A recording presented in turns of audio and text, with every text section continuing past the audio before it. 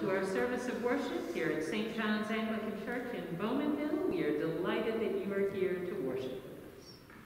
Before we begin our regular service today, we give thanks for the people in our congregation who have knitted prayer squares and prayer shawls and prayer lapghans, and we will do a blessing for those before they are given to people who could use a little extra comfort and assurance of God's presence.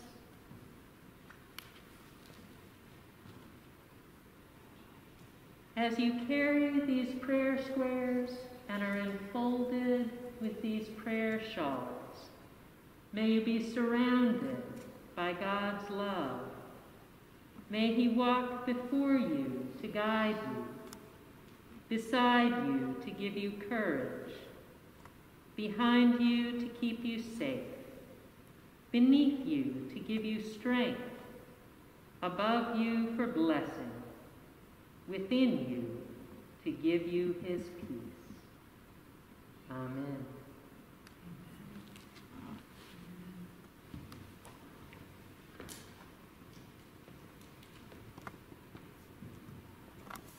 Blessed are you, O Christ, Son of God. You were before time began and came into the world to save us. Blessed are you, Sun of righteousness. You shine with the Father's love and illumine the whole universe. Blessed are you, Son of Mary. Born a child, you share our humanity. Let heaven and earth shout their praise. With all the voices of heaven, we celebrate the coming of our Savior. Let heaven and earth shout their praise. Let us pray. Merciful Lord, grant to your faithful people pardon and peace, that we may be cleansed from all our sins and serve you with a quiet mind. Through Jesus Christ our Lord, who is alive and reigns with you and the Holy Spirit, one God, now and forever. Amen.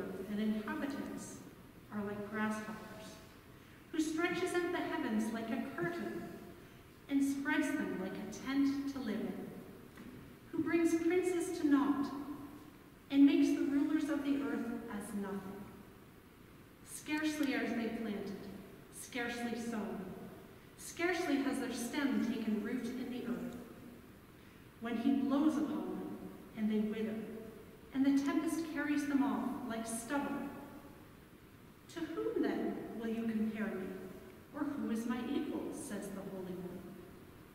Lift up your eyes on high and see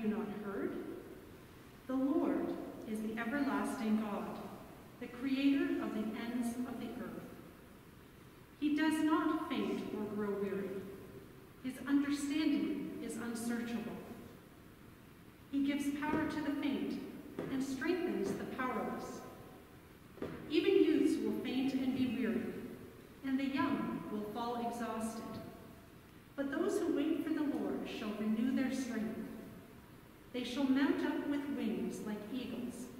They shall run and not be weary. They shall walk and not faint.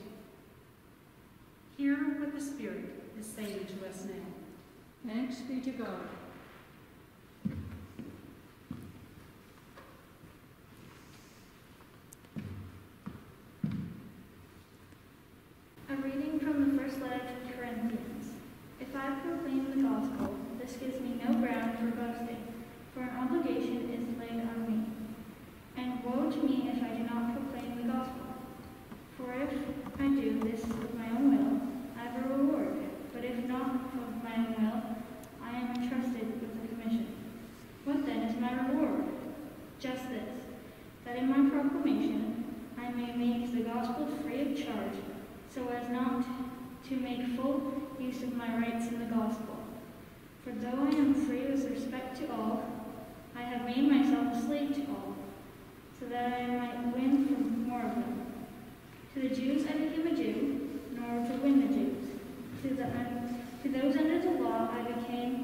one under the law, though myself am not under the law, so I might win those under the law. To those outside the law, I became as one outside the law, though I am not free from God's law, but I am under Christ's law, so that I might win those outside the law. To the weak I became weak, so that I might win the weak. I have become all things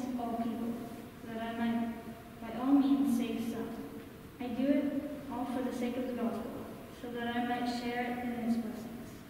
Hear the Spirit is saying to us now. Thanks be to God.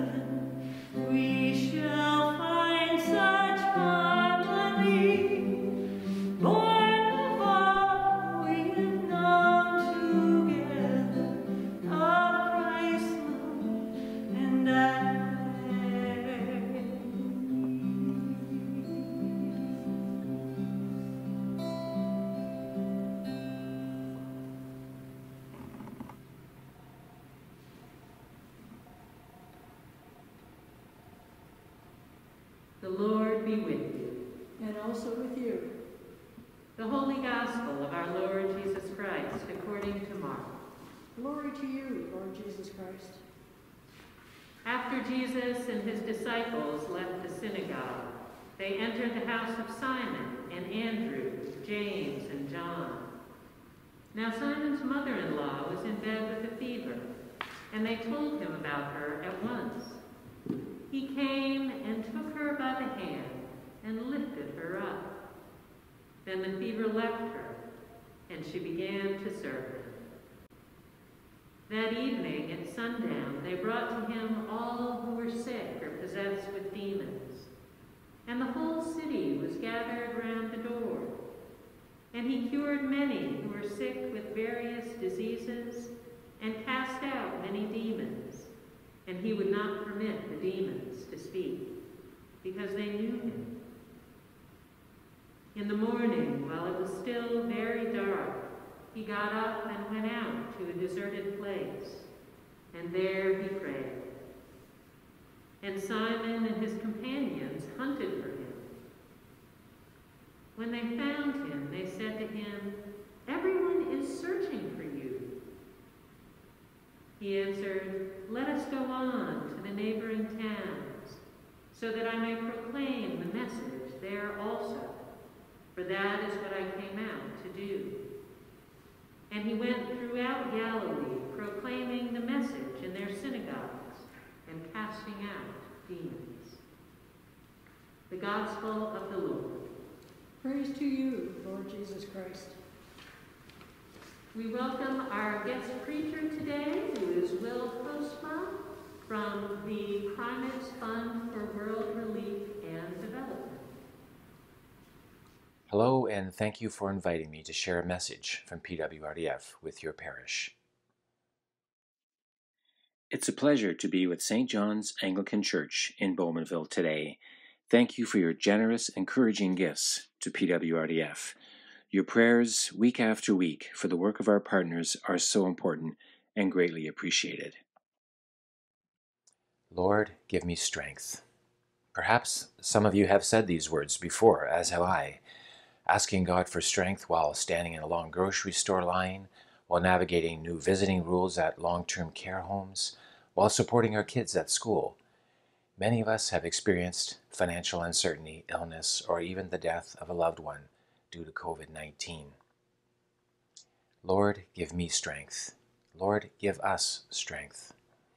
When churches across the country closed to public worship, we all had to pivot, including those in the PWRDF office churches discovered new ways of doing church, and suddenly prayer was the most Googled search term on the internet. One Sunday morning in May, Zoom crashed and online church services were to blame. That's right, we broke the internet. All the while, PWRDF was in constant contact with our partners in the world's most vulnerable communities. Take, for instance, Burundi, ranked as one of the poorest countries in the world. The community response there was one of empathy for the rest of the world. We hear it's bad over there, said one of the local teachers. In all the world, people are dying, but you know, this will pass. Now, this response wasn't waving away our concerns, just the opposite. It was a response born from the experience of someone who deals with the threat of food insecurity, malaria, and many other deadly diseases that are everyday occurrences. I have been encouraged by the faith and trust of so many in the global south. As Jesus tells us in the Sermon on the Mount, do not worry about your life. Look at the birds of the air. They neither sow nor reap nor gather into barns, and yet your heavenly Father feeds them. Can any of you, by worrying, add a single hour to your span of life? Jesus tells us to be anxious for nothing. It is this very definition of faith that time and again we are all asked to call on to give us strength. For more than 60 years, PWRDF has been responding on behalf of Anglicans to communities in need. Many of our programs train people in new skills. Our local partners teach people how to adapt their farming practices to climate change, how to use new medical equipment, how to improve the nutrition of their family, how to set up a loan cooperative, how to advocate for their rights. But in truth, there are many things to be learned from our colleagues and the people living in their communities. They can teach us about resilience. Where there are natural disasters and destruction, they teach us how to start over. And where people do not know where their next meal is coming from, they teach us how to share resources. Where there is death, they teach us that life goes on, and they show us that the human spirit truly is indomitable. PWRDF focuses on this kind of community development when communities become stronger together and make choices that are good for everyone. Through your support, we can bring resources and training, further adding to the community's strength and resilience in the face of the next challenge. Here are a few examples. In August 2019, Hurricane Dorian hit several islands of the Bahamas with winds that reached 295 kilometers per hour. 70,000 people were left homeless, and many churches in the Bahamas were called on to provide emergency shelter and supplies to people in need. Canadians donated more than $200,000 to PWRDF to support the Caribbean churches as they responded to the recovery, and even now, a year later, this work is continuing. Preparing for a crisis makes people stronger. PWRDF partners in the Episcopal Church of Cuba participated in a training workshop called Pastors and Disasters. Though it was designed for climate emergencies, church leaders were able to put it to the test when the pandemic hit. In Bangladesh, our longtime partner UBINIG is a model of resilience. PWRDF over the years has supported shoreline replanting of mangroves to reduce erosion and build resilience to climate-related disaster.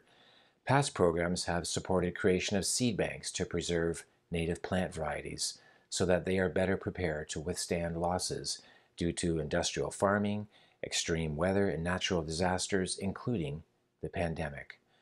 UBINIG received a small grant from PWRDF to support many of the day laborers suddenly without work and without means to buy food, but because the community had worked together, they had the strength to help each other. I am so proud of the four years that PWRDF has invested in Tanzania, Burundi, Rwanda, and Mozambique, working alongside partners in our All Mothers and Children Count program. Through training and education, new equipment, and improved access to health care, people are stronger. They improve their nutrition, their food security, and their overall health, and they are now more resilient to illness and loss of income. This program was funded by PWRDF donors and a 6 to 1 match from the Government of Canada. And I'm pleased to note that the funding match is still in effect as we continue to support these partners through COVID 19. Our partners are responding to the challenges, and we are glad to be able to add to their efforts by providing personal protective equipment, soap, and clean water, and increasing awareness about the coronavirus. Our partners are determined to not let the pandemic reverse the gains that have been made in these past four years of our partnership together. Resilience is not a foreign concept in the Bible either. It is brimming with stories of people responding to oppression or hunger through their faith in God. Joseph used his God given skills to interpret dreams and rise from despair.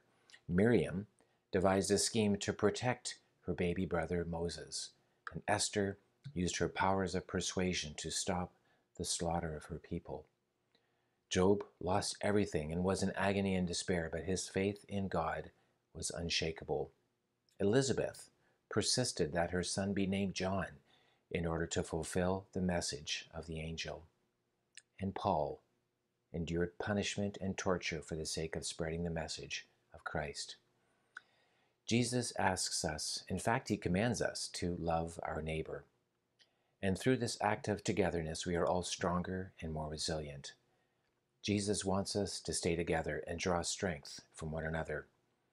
Just as the shepherd looks without ceasing for that one lost sheep, we must not leave anyone behind. For us at PWRDF, we are called to do our best with the prayers and gifts of Canadian Anglicans to support our partners as they care for the most vulnerable. And for you who are supporters and donors, know that these prayers and gifts go a long ways to help church leaders in the Bahamas and Cuba, community members in Bangladesh, medical staff and volunteers in Burundi, and so many more. Your support lets them know you are with them and not forgotten. In this difficult pandemic time, PWRDF started gathering weekly on Zoom to be a source of strength and inspiration to our volunteers looking to come together. Using words suggested from this online parish, our public engagement program coordinator Suzanne Rumsey wrote this prayer that I would like to share with you now. Let us pray. God of hope, in an ever more connected world, you call us together in acts of caring, and you call us to uphold the dignity of every human being by transforming structures that deny that dignity. Child of peace, you invite us into friendship with you, you who are present in the vulnerable and marginalized communities in Canada and throughout the world. You challenge us to recommit and rededicate ourselves to ensuring their agency and to making the whole world safe. Spirit of love, you speak to us through the smiling faces of our partners, whose generosity of reflective, focused, and mindful caring calls forth our own generosity as we share food, share health, and share our lives. God, child, spirit, in this pandemic time, hold us, the people and partners of PWRDF, in your loving embrace, and walk with us as we continue on the journey towards a truly just, healthy, and peaceful world. Amen.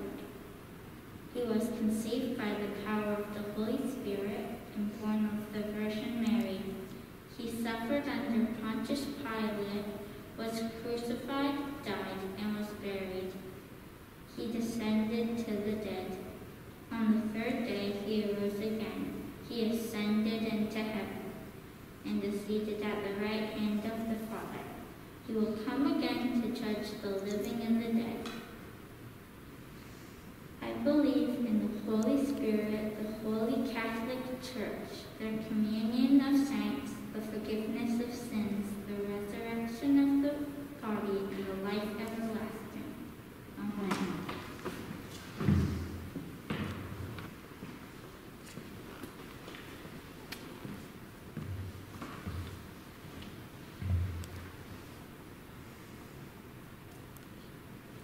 Let us pray to the Lord. the church, especially our diocesan bishop,